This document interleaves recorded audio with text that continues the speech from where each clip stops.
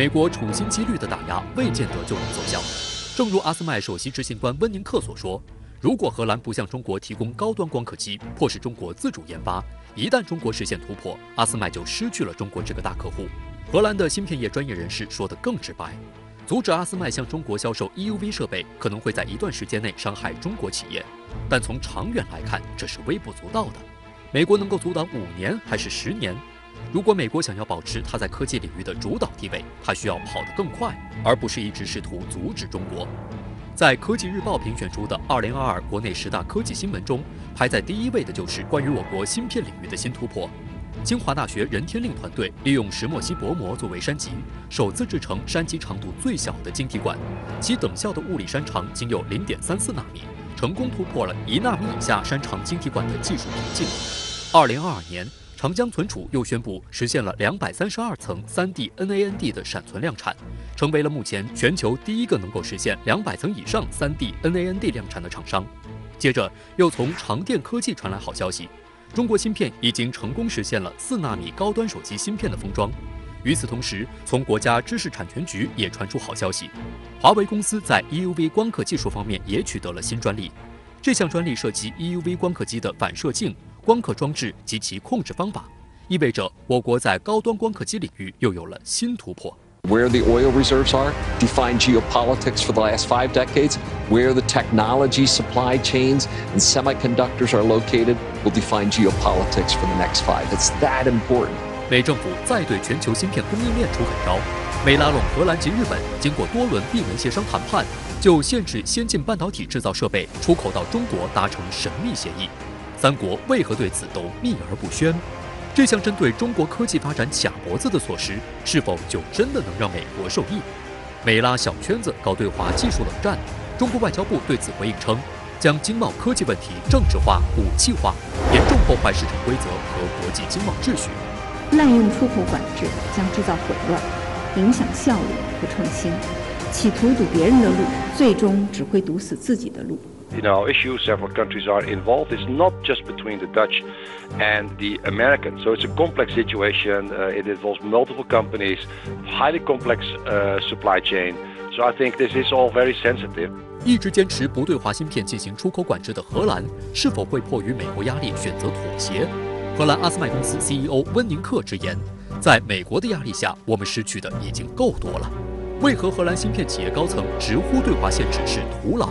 面对美国企图筑起的科技高墙，中国科技企业将如何自主创新、奋力突围？美国拉拢盟友日本，共同遏制中国半导体发展。沉寂多年的日本芯片产业为何被美国相中，被拉上牵制中国发展的战车？日本多家芯片公司正在突破两纳米技术。失去中国市场，未来的发展是否蒙上阴影？那在这个问题上，相比日本的相对积极，其实荷兰呢一直是比较消极的。在去年的十二月，包括今年一月，荷兰的经贸还有这个发展合作大臣也多次的表示啊，不会完全照搬美国的政策，不会盲目的跟随美国的政策。但这次还是跟日本连同美国签署了这样一个协议。荷兰到底是什么样的一个心理状态？荷兰是首先是一个小国。啊，小国在国际贸易和国际政治当中的地位啊，呃，虽然想争取独立，但实际上常常不得。嗯啊，荷兰当然在产业上来说呢，并不是那么多元化的，因为毕竟是个小国，而芯片生产的基本设备光刻机可以说是荷兰重要的一个出口产品。嗯啊，因此从国家的国际市场利益和像阿斯麦这样重要的光刻机生产企业来讲。当然不愿意从它最重要的市场之一中国市场退出，但是小国毕竟是小国啊。我们有一句通俗的话，虽然被批评，但是有道理的，叫“小国或者弱国无外交”。无外交，对。原因在哪里呢？因为它在国际政治上的影响力实在是很有限的。荷兰要选边站的时候，嗯，无论是荷兰的贸易工业大臣，还是是阿斯麦的 CEO，嗯，都不得不痛苦的选边。那我们知道，此前美国是不让它卖给中国 EUV，现在据说是比较老的那一代的这个 DUV，可能也会在限制出口的这个行列当中。刘先生，您就怎么分析？我觉得这个问题分两头来看。嗯，一方面呢是呃，河南迫于美国的淫威，是吧？不得不服从美国的要求来，呃，这个选边站队。这是前面两位已经分析的。但另一方面呢，我觉得也存在一种可能性，就是逼着将来的这个河南这企业啊，它更多的选择自己的技术专利，因为它现在受美国制裁，主要是它的这个 SMT 生产的这个好多这个光刻机用的是有美国的专利在里边。那么将来我就不再用你的。避开你美国的这个专利技术，完全是搞自己或者搞其他国家的技术，比如德国的、日本的技术。这样呢，我就绕开你这个了。这样呢，美国实际上就逼出了一个独立自主研发的这样的一个呃发展的道路。中国呢是阿斯麦公司在全球的第三大市场。二零二二年的时候，对中国的这个销售额达到了二十一点六亿欧元啊，非常的大，这个数字占其总收入的百分之十四。这么大的一个中国市场。荷兰心甘情愿的会放弃吗？他肯定不愿意。刚才两位老师都提到，嗯，谁都跟钱没有仇。但是我们得搞清楚，荷兰这个光刻机它怎么来的？我们严格讲，这个光刻机不是荷兰制造的，这是荷兰组装的。那么为什么在低 u v 阶段，荷兰其实是三分天下中间的三分之一？嗯，到了 EUV 阶段，它是一家独大。这个根子是它跟美国结盟。那个 EUV 的光源，美国只供给阿斯麦尔，不给不供给什么日本的其他国家的企业。嗯，所以理解这个东西，你就知道为什么美国的影响力这么大。因为美国如果不愿意不向他提供这个东西，它的最新的这个光刻机它就会停产，这叫反向制约，就制约了这个荷兰。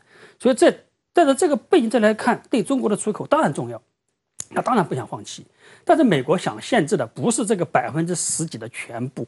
是这个百分之十几里面高端的 DUV，大概在十四纳米左右的这个部分。嗯，那么落后一些的，像四十八的那些东西，它可能不限制，就最终影响的，可能是占百分之几。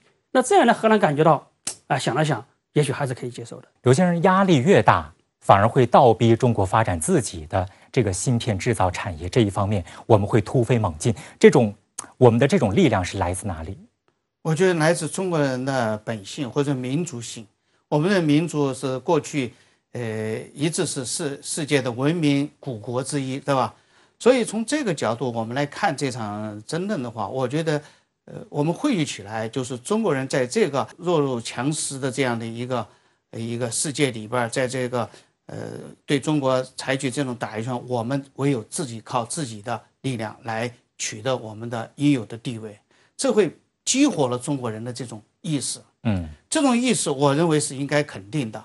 如果不去肯定这种意识，不去弘扬这些意识，我们会永远的被别人给制住。有人把美国的芯片战比作冰箱装大象，那中国这样一个大象能被装进冰箱吗？中国未来要怎么解决芯片卡脖子问题？自主研发还是走向合作呢？对中国来说，当然是要有两手啊。第一呢，如果是对真正卡脖子的。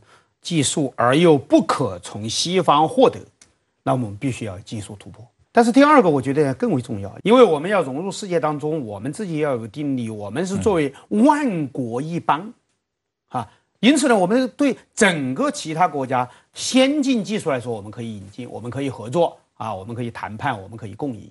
实际上呢，我们存在着两种前途，一种呢就是继续推进国际化，呃，全球化。但是这个呢，也会带来难以推进的一面，因为世界上已经在对你形成一种打压包围了，你还在呃单向式的推进这一个，这个这个全球化，实际上最后你可能会越来越孤立。对于那些关键的是别人给不了东西呢，我们要自己把它做起来，而这一点肯定出入别人，动别人奶酪。我们把自己的事情先做好，把自己的实力做大做强。